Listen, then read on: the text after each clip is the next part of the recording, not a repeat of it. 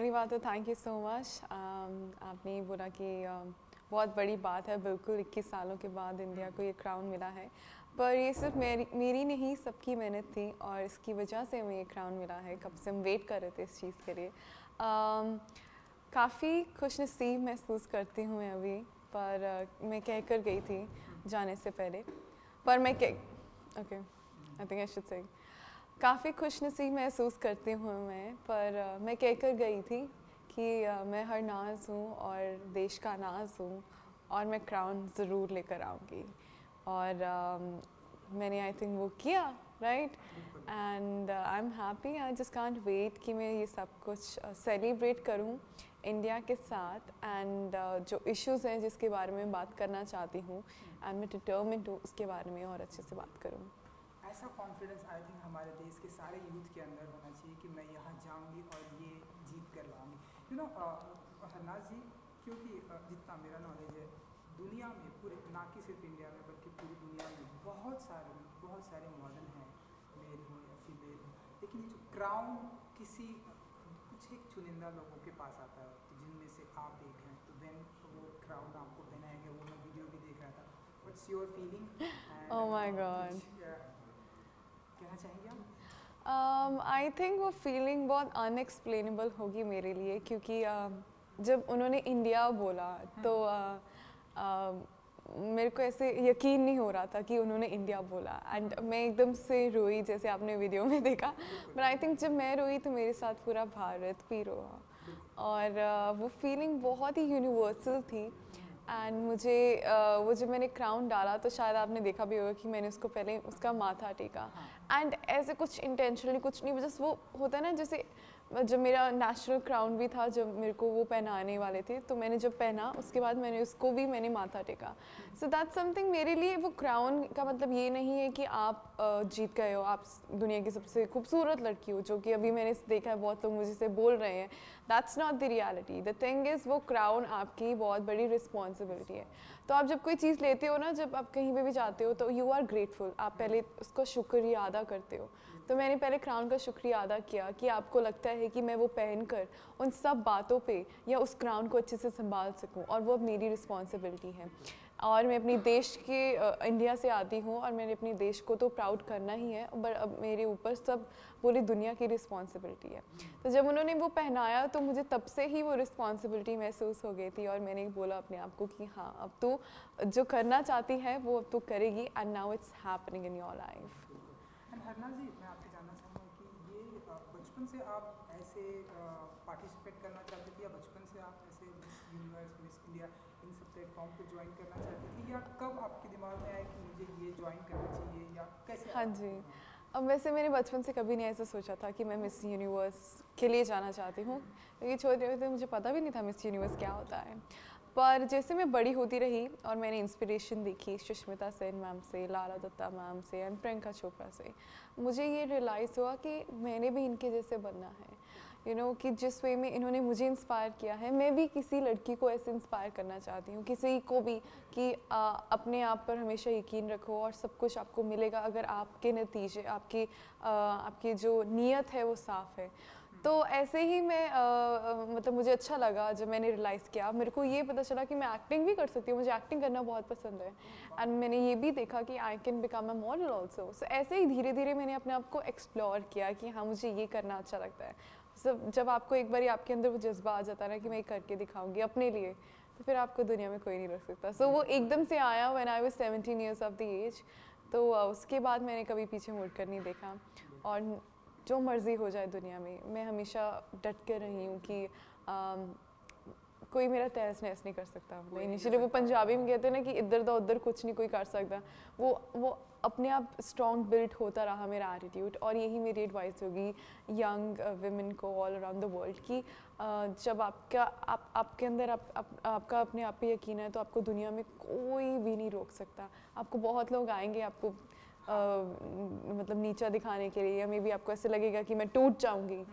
पर आप जब तक आपका अपने आप पे कंट्रोल है कुछ भी नहीं हो सकता। बिल्कुल बिल्कुल अब आपका कोई नहीं कुछ, भी नहीं कर सकता। तो हम ऐसा माने क्योंकि हरनाज जी ये जो रास्ता है जहाँ जो आपने मुकाम हासिल किया ये रास्ता आप कहीं ना कहीं बॉलीवुड की तरफ़ भी जाता है क्योंकि चाहे आपने बात की लारा दत्ता सुष्मिता से जितने भी लोगों को ये टैग मिला आज हम देख रहे हैं बॉलीवुड में उनका बहुत ही अच्छा नाम समझ और आपने एक्टिंग की भी बात की तो हम ऐसा माने कि अब हरनाज जी जो है इसके बाद ये एक साल तक का जो भी प्रोसेस है उसके बाद अब आप एक्टिंग में हम आपको देखेंगे ऐसे कुछ well um, it's too soon to you know describe that how my future will look to be honest क्योंकि अभी कुछ भी नहीं पता है क्या होगा ज़िंदगी में but being an actor I am looking forward जो भी होगा let's hope let's see for the uh, let's hope for the best to be honest but um, acting हमेशा मेरा passion रहा है और मैं एक्टिंग के थ्रू लोगों को इंस्पायर करना चाहती हूँ क्योंकि आज की दुनिया में सब एक्टिंग से बहुत इंटीमिडेटेड फील करते हैं बहुत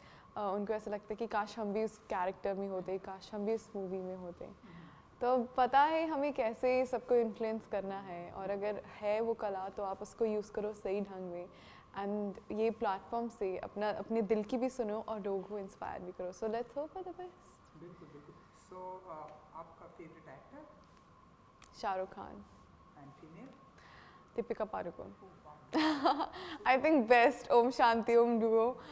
मुझे काफ़ी अच्छा लगता है। Not only acting it's not only about on screen वो कैसे हैं बट ऑफ़ स्क्रीन भी वो कैसे हैं। मेरे लिए हमेशा आर्टिस्ट मैं हमेशा जब आर्टिस्ट को देखती हूँ एज एन ऑडियंस और एज एन एक्टर तो मैं उनको उस ढंग से देखती हूँ कि ऑन स्क्रीन ही नहीं ऑफ़ स्क्रीन भी वो कैसे हैं। तो उन, उनका दोनों का जो एटीट्यूड है वो काफ़ी डाउन टू अर्थ रहा है और जिस ढंग से उन्होंने अपने आप को क्रिएट किया है अपना और एंड uh, हर चैलेंज को उन्होंने फेस किया है। आई थिंक वो हम सबको सीखना चाहिए।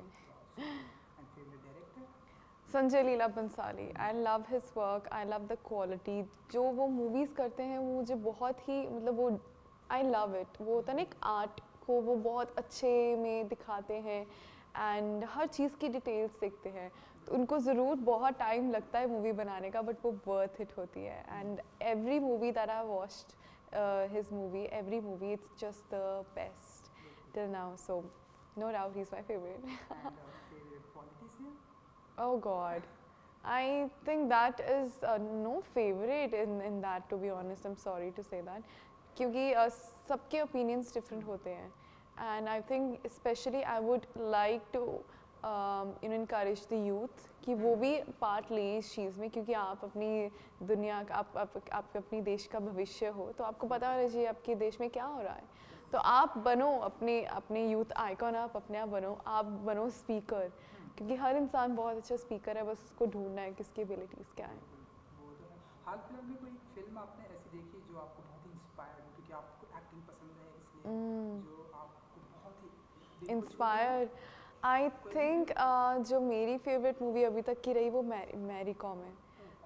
द uh, वे उन्होंने क्योंकि मैं हमेशा वेमेन एम्पावरमेंट पे बात करती हूँ सिर्फ़ बात ही नहीं है I have seen that closely और मुझे पता है कि मैंने क्या ब्रेक करना है उस वो टाइम तो वो मैरी कॉम मुझे बहुत इंस्पायरिंग लगती है। दंग, दंगल भी है बट uh, वो होता है ना कि जैसे हर मूवी अपने आप में अच्छी है दंगल अपने आप में मुझे बहुत अच्छी लगती है और मैरी कॉम अपने आप में।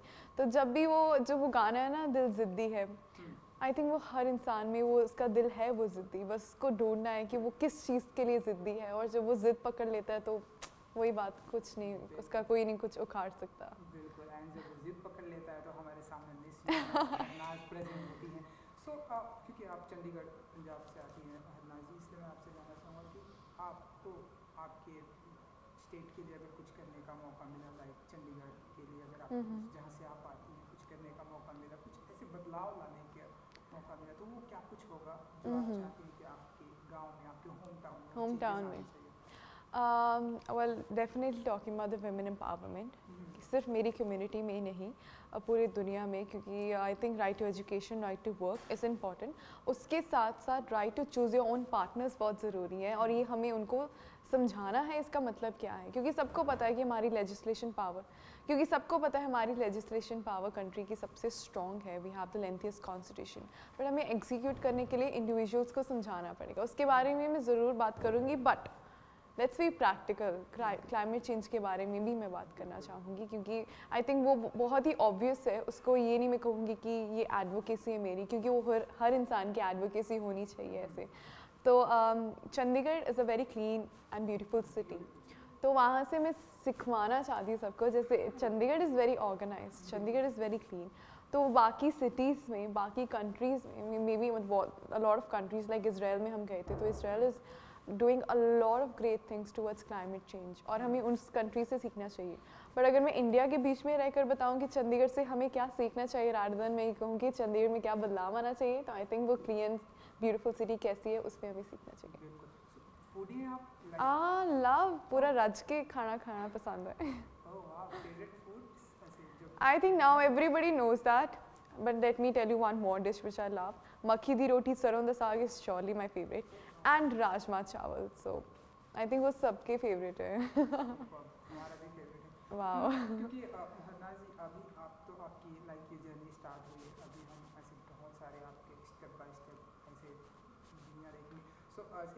Mumbai sorry India and India के बाहर पूरे ऑल ओवर वर्ल्ड अब आप ट्रैवल करने वाली हैं। तो अगर आप कुछ बता सकें कि आपको ऐसी कौन सी जगह पर जानी है जो आपकी फेवरेट है? हम्म। आप जाना चाहते हो? जाना चाहते हैं। Um, इसराइल मेरी एक ड्रीम डेस्टिनेशन थी। um, च- जीता। बिल्कुल इन द होली लैंड तो थैंक गॉड मेरा वो फुलफिल हो गया।